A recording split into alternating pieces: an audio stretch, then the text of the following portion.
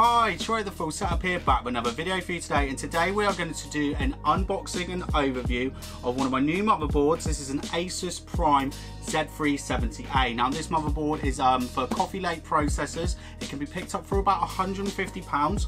We're going to do a quick, you know, unboxing and just overview of all the features today. I won't be showing the BIOS, but if you do want to see the BIOS, I have got a video of an 8350K where I overclock it to 5 gigahertz, and I'll put a link of that in the description for you. Anyway, let's get into have a look at this motherboard. Let's start with having a look around the box then. So here's a picture of the motherboard. It's an Asus Prime Z370A and Aurora Sync. It has Aurora Sync. It's got RGB. But it's also got loads of other stuff, computery stuff, if we can get some focus.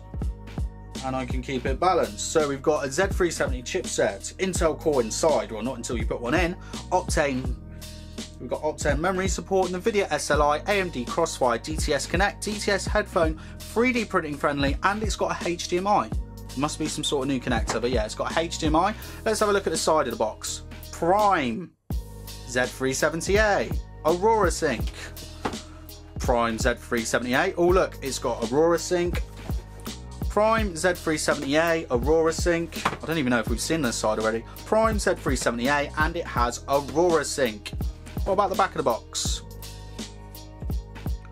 Oh, we've got Aurora Sync, oh, and we've also got Realtek Audio, um, M.2 heatsink, Intel Optane technology, the um, five-way optimization.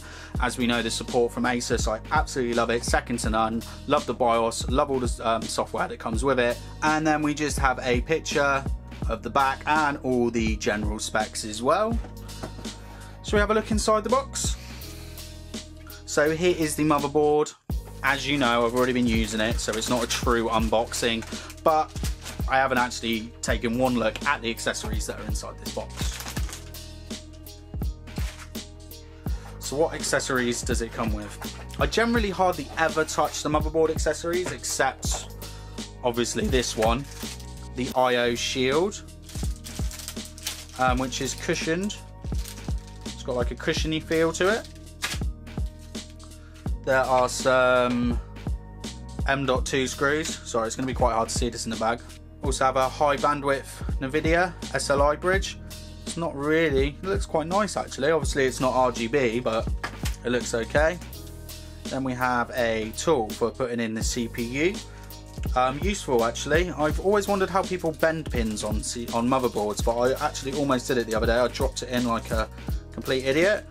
This is a, oh yeah, I remember seeing this on the website. So this little holder means that you can put, I think, a 40 mil um, fan over the VRM. Not something that I'm going to use because I think it will ruin the look of the board. But, you know, for extreme overclockers, open air test benches, definitely good. Then we have three SATA cables, although that's not nice. They're not putting the black and white SATA cables in anymore. Ah, now these I love. So you can put all your power connectors, your hard drive LEDs, all of the stuff on that and then you just plug that into the board which is really good especially in tight systems and when you you know getting towards the end of your build it's getting a bit stressful. This is really useful and then the rest of the stuff is just various manuals. Installation guide 25% off at Cable Mod. I was actually looking at doing a Cable Mod order recently, so I might have to have a look into that. And then there's a driver disc, but I recommend that you download all the drivers off the internet and give it the latest BIOS upgrade. Anyway, let's have a look at the motherboard. Let's start off with the back of the motherboard. Now there are no hidden M.2 slots whatsoever. As you can see, we've got an all black PCB. Let's have a look at the I.O. then. Well, we have a two USB 3.1 Gen 2s. One's a standard and one is a USB-C. Um, we've got DVI port, display port, HDMI, another two USB 2.0s and two USB 3.0s as well. So I would have been loved to have seen an extra couple of USBs on this board. I've already had to use adapters when I've got loads of stuff plugged in. Then we have the Gigabyte Ethernet um, and then we have we have an optical output um, now, now there's five channel audio, although you can do, I think it's eight or 7.1 channel with this, but you do have to use the front header audio as well if you want to hook up to 7.1 speaker devices. So let's start off by looking at the top part of the motherboard. Starting off with the top half of the motherboard well the first thing you're going to notice is this lovely I.O. cover. Now one thing I couldn't tell when I ordered it with the um, Prime motherboards is they look quite silvery um, and I really was hoping that this was going to be an all white I.O. shield because as you know I do really like white motherboards. Sadly it doesn't extend all the way down the board like the Deluxe is. I really do miss the Deluxe boards but it's a very nice feature. It's always nice to have an I.O. cover as well. Um, here you can see we've got the 8 pin power. Um, this is for the CPU power. Um, and then we've also got a 6 plus 4, I think it's, yeah, 6 plus 4, so we've got 10 phase power. Overclocking with the 8350K has been absolutely fine up to 5 gigahertz, and I don't think I'm going to run into any problems with the 8600K either. And then we've got nice heat sinks as well, covering all of the VRM, so it's yeah, generally quite a nice packed motherboard for the price. I've seen other motherboards that have a lot less phases in this power range. Then we also have the LGA 1151 CPU socket. Um, now sadly this isn't backwards compatible. As we all know, it's Coffee Lake only. We can only put Coffee Lake in here and it's got a nice little cover as well. So you just basically put the CPU on, drop that down and then this little puppy pops off. Then we have a chassis fan connector down here, but the one thing it also has, which I really like, um, the positioning of it, is it has an AIO pump cooler, which means that you don't have to like figure out how to get your cable. You know, I've sometimes seen them over here, like pump connectors. Um, so it's really nice to have it there. Very easy to wire in. Talking about fan connectors as well, we also have a CPU fan connector here and then a CPU um, fan option connector as well. So they're two 4-pin PWM fan connectors, perfect if you're using like AOI coolers with lots of fans on it. Maybe it's like push-pull You've got all the connectors that you need there. Um, moving over to the DIMM slot sensor, there is four DIMM slots, which will take a maximum of 64 gigabytes of DDR4 running at 4000 megahertz. I've only tested it with 3200 megahertz, had no problems, set XMP, no issues whatsoever. That's one thing we get with Intel is rock solid memory support. Then we have another chassis fan connector as well, 4 pin PWM.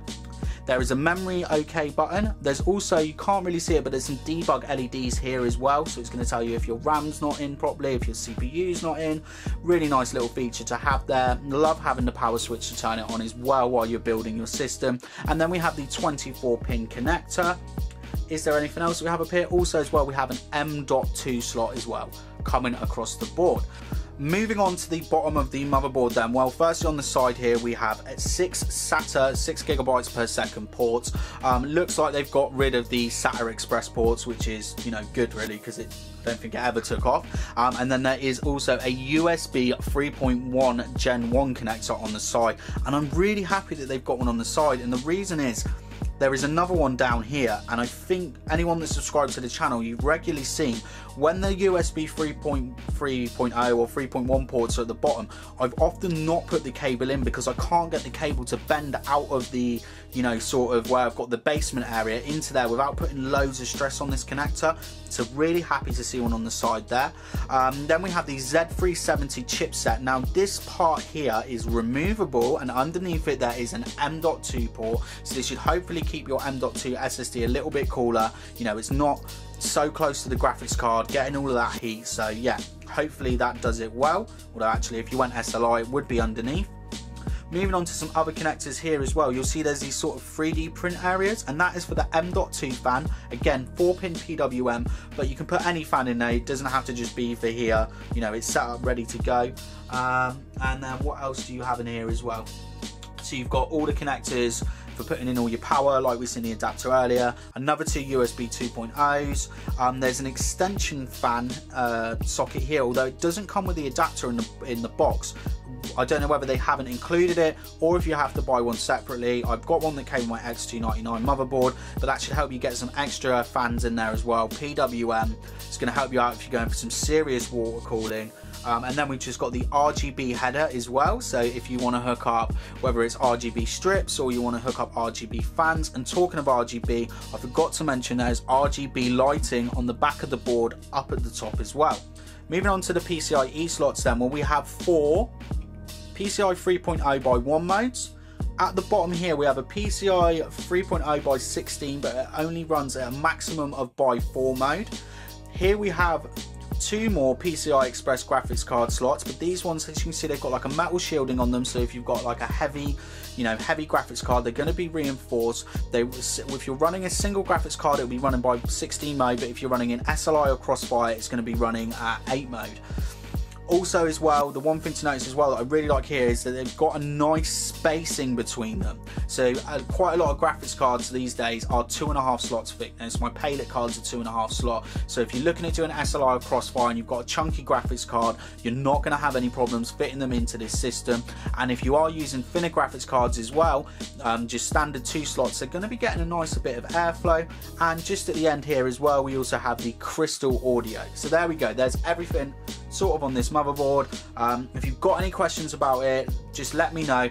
As always with these videos, I do them more as for like a topic and a discussion. So, you know, if you're using this motherboard, if you're finding that you're getting a win with it or you're getting a loss, if there's a BIOS update you don't like, can you just comment, leave it in the description. It's really good to get everyone together, you know, as a community. Um, and if you want to see the overclocking video, there's a link in the description as well. So yeah, if you're using this motherboard, leave some comments. If you like it, tell me why. If you don't like it, tell me why. And I'll be back with some more videos real soon.